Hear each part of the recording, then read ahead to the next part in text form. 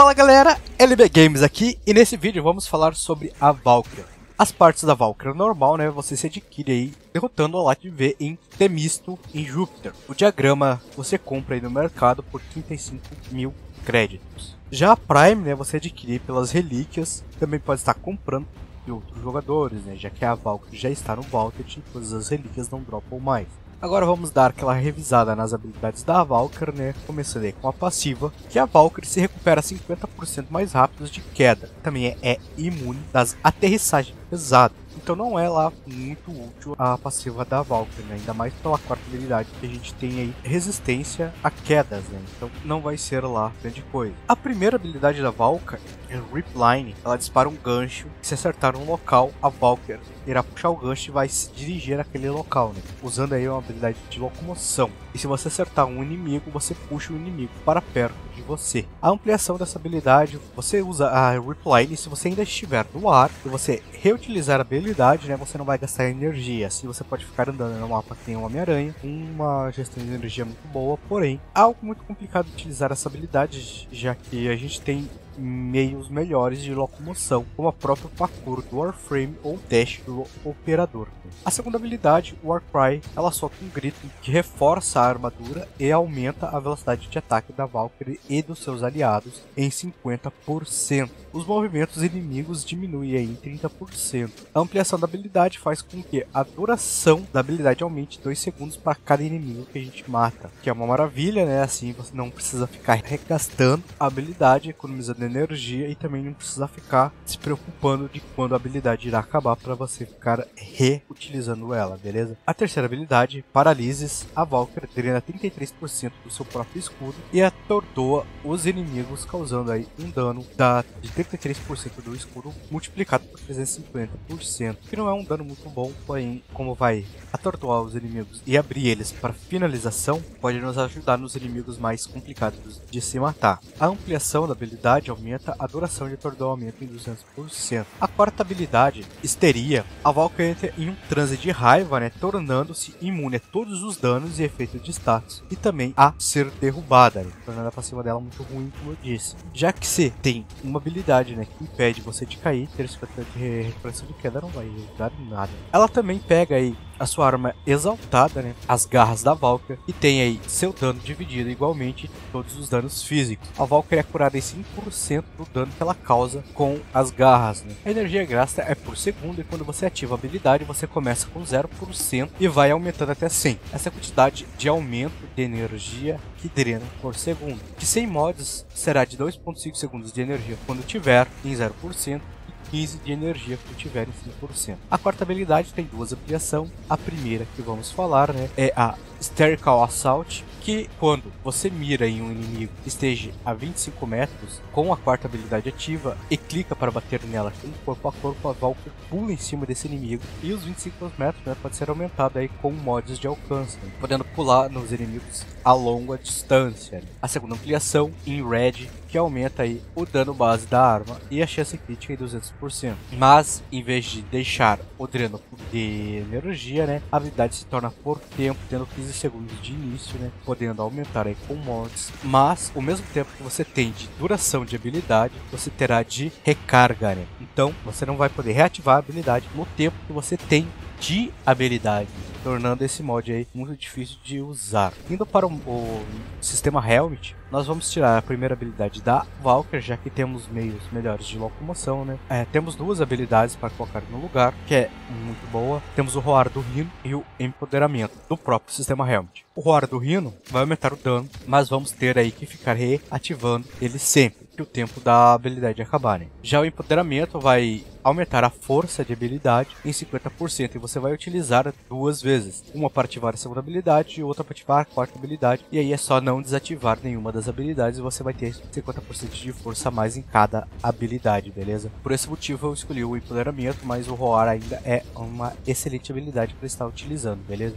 Agora indo para a build da Valkyrie, vamos começar aí pela aura, colocando o Steel Charge, já que vamos ficar invulnerável com a quarta habilidade e não pretendendo sair dela, não tem por que focar em sobrevivência na build, e sim em manter a quarta habilidade ativa e causar dano com a quarta habilidade. Por essa mesma lógica, né, não precisamos colocar o Prime Footed, já que a quarta habilidade também nos impede de cair na missão. Indo para o mod Exilus, vamos colocar o Power Drift para aumentar a força de habilidade, junto com Transcient Fortitude e Umbral Intensify, né, deixando aí nossa força muito alta. Aí vamos focar em gestão de energia, né, gastando menos energia por segundo, é, com a quarta habilidade, colocando aí o Nahor Mint e o Flex Expertise, fazendo uma, um balanço entre duração e eficiência, né, deixando nosso gasto com a quarta habilidade em 0.9 de energia com 0% e 5.28 de energia com 100%. E colocar o Permit Flow né, para termos uma energia maior, assim não precisar ficar nos preocupando com o gasto de energia. Vamos colocar também a ampliação da segunda habilidade para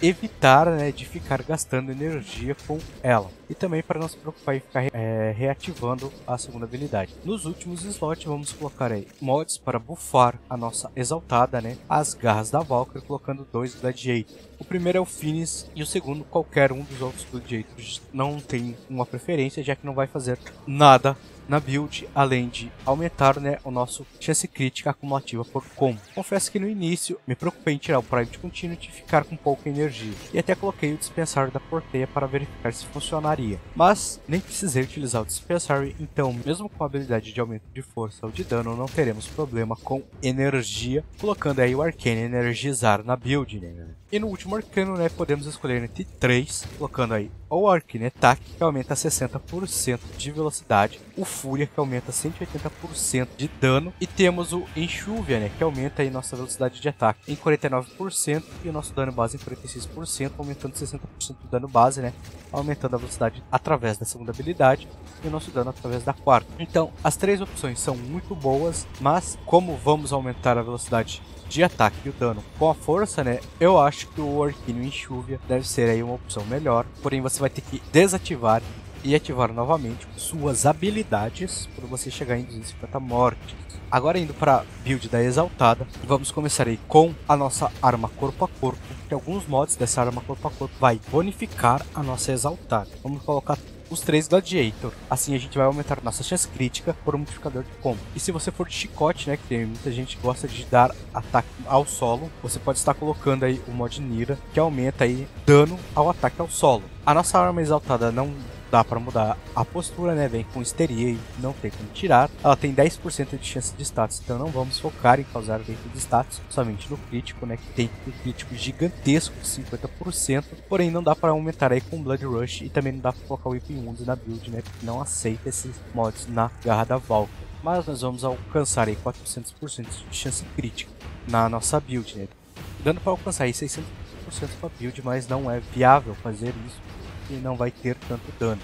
Com os mods Gladiator, a nossa chance crítica já vai para 325%, que já é bem surreal, somente com os Gladiators sim, precisa colocar um mod de chance crítica, chegar nesse ponto. E se colocarmos né, na, nas garras da build o Sacrifice Steel, aumentando mais 220% de chance crítica, a nossa chance crítica vai chegar em 435%. A gente vai critar no nível 4 e ter 35% de chance de aplicar o crítico nível 5 então vamos aumentar o nosso dano crítico, né? Logicamente, né? Colocando aí o Organ Shatter Gladiator Might na nossa exaltada, alcançando aí 5 vezes de multiplicador crítico. Significa que vamos multiplicar o dano da garra em 17 vezes. E agora é só aumentar o dano base, né? Colocando aí o Permanent Pursuit Point, já que a gente não vai ter status, né? O Condition Overload não vai ser viável e colocando o Prime de Smite da facção que a gente vai enfrentar. Vamos colocar também o Prime de Reach para aumentar o alcance né, e atingir mais inimigos por vez. A velocidade de ataque da Exaltada já é muito boa né, e a gente já tem a segunda habilidade da Valkyrie que vai aumentar a nossa velocidade de ataque, então não tem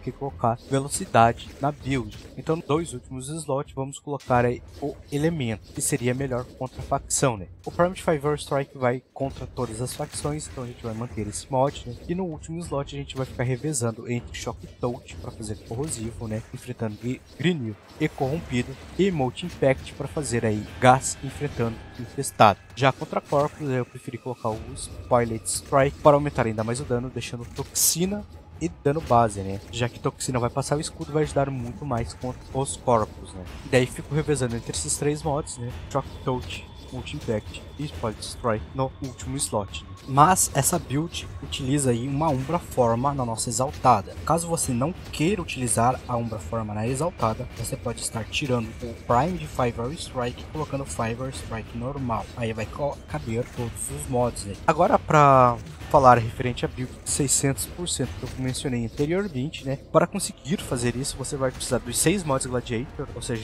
você teria que tirar um mod da build da, da Valkyrie para colocar o último Gladiator que tá faltando, e os dois Sacrifice, assim você já chega a 517%. E se você colocar ampliação, né, em Red, você vai ganhar mais 200% de chance crítica, chegando aí 617% de chance crítica com a Exaltada. Mesmo que, que a gente vai perder aí dano colocando os Gladiator no lugar dos mods de dano e o Sacrifice Pursuit no lugar do Prime de Pursuit Point, a ampliação também vai aumentar 200% de dano base vai valer a pena. A única coisa que não vai fazer valer a pena utilizar essa build né, vai ser o tempo de recarga de habilidade. Se não fosse pelo tempo de recarga, seria muito útil. A build de 517 já não vai valer a pena porque vai diminuir muito a força que a gente vai ter também.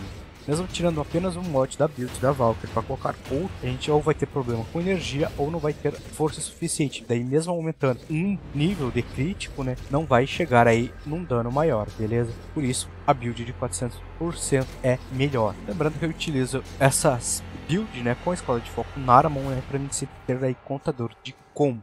E esse aí é o vídeo, galera. Se gostaram, deixe um like. Se tiver interesse em mais conteúdos de Warframe, se inscreva no canal que estamos postando vídeo aí todas as semanas. E até o próximo vídeo, galera. Valeu. Falou!